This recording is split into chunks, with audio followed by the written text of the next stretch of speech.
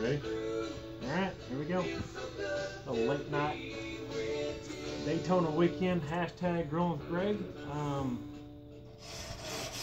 gotta get the grill ready.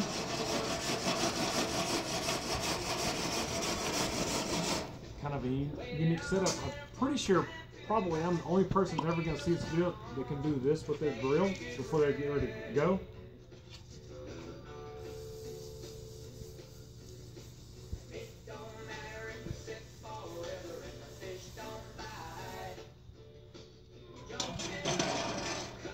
You think that isn't hot.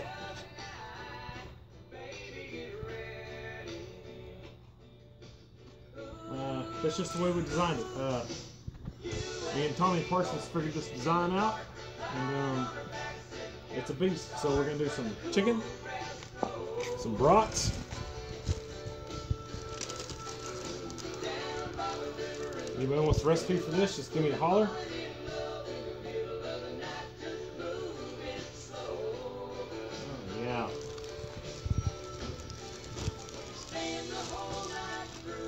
Oh yeah.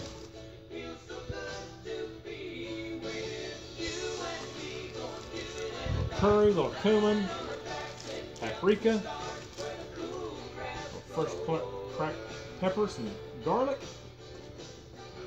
Everybody's gonna get in action. Imagine that. That never happens, right, baby?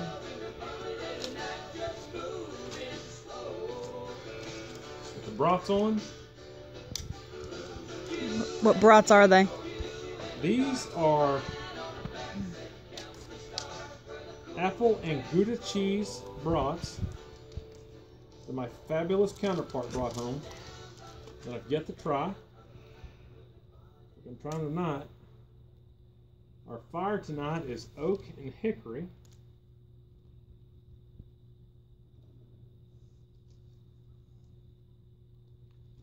And these should be just a little bit of fantastic.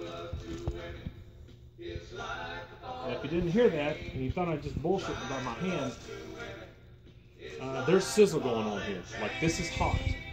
But the way this is designed, specifically designed and built, I can grab this part right. Um,